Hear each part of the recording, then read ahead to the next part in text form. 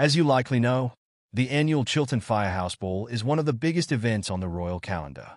All of the top royals and their associates gather at the exclusive private members club in London for a glamorous evening of fine dining, dancing, and reconnecting after a busy year. It's a chance for the top brass to rub elbows and plot their agendas for the coming 12 months. But this year, one major royal was noticeably absent from the guest list, Prince Harry. Sources close to the palace have revealed that Harry received a call just days before the ball informing him that his presence was no longer required. Can you believe it? The once beloved party prince, banned from what is essentially the social event of the season among his social circle. Now Harry is certainly no stranger to causing controversy or ruffling feathers over the years with his playboy antics. But to be so publicly shunned and tossed aside from such a prestigious affair has really set tongues wagging. Surely this is another knock to Harry's already damaged reputation within the higher echelons of the monarchy. So why the sudden about-face and exclusion? Well, insider sources claim tensions have been rising for some time between Harry and other senior Windsors over his outright defiance of royal protocols and blistering attacks on the institutions.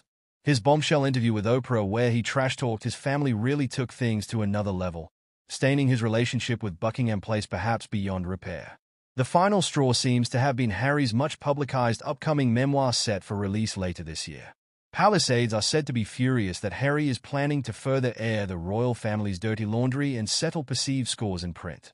They feel he has crossed an unforgivable line by planning to put private family matters on public display just to line his own pockets. By banning him from the Chiltern Ball, the palace has sent a very loud and clear message that Harry is now decidedly persona non grata in their inner circle. They are distancing themselves from the rebel royal and his unpredictable antics before he can cause any more self-inflicted damage to the already battered house of Windsor brand. Harry's defiance has consequences, it seems. So in summary, Harry's bombshell book combined with his tell-all Oprah interview seems to have burned his final bridges with the palace hierarchy. They no longer want anything to do with the loose cannon duke and have publicly shunned and shamed him by cutting him off from their prized social events.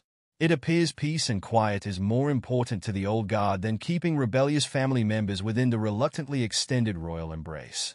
Ouch! The ball was said to be an electric affair regardless, with senior royals like Charles, William, and Kate holding center stage in Harry's place. They dazzled guests with effortless charm while subtly reminding all present who the real future of the monarchy will be. Meanwhile, Harry was left to stew on the sidelines, persona fully non grata from the glitzy inner circle he once called family. Word on the street is that Meghan did not attend in his place either, declining the invitation in a likely show of solidarity. Sources say she remains just as unwelcome among the Windsor clique as her husband after similarly criticizing the firm. It seems the prodigal son and his controversial wife have well and truly burned their last bridge back into the royal ranks for the time being at least. The big question now is, how much more juicy content will Harry spill in his upcoming book now that bridges have been so definitively burned?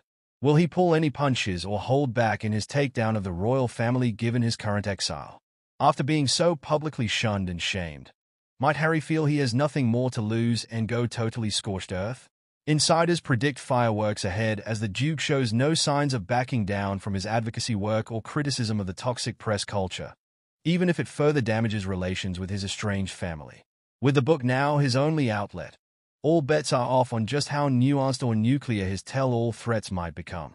The Windsors will be watching and waiting with apprehension, I'm sure. Well, folks, that's all the hot gossip I have for you on this developing royal feud. Let me know your thoughts on Harry being frozen out in the comments below. Do you think the palace ban was too harsh? Or is this just the natural consequence of Harry sticking two figurative middle fingers up at the establishment? Be sure to like and subscribe for more Royal Rumor recaps coming your way real soon. Thanks for watching.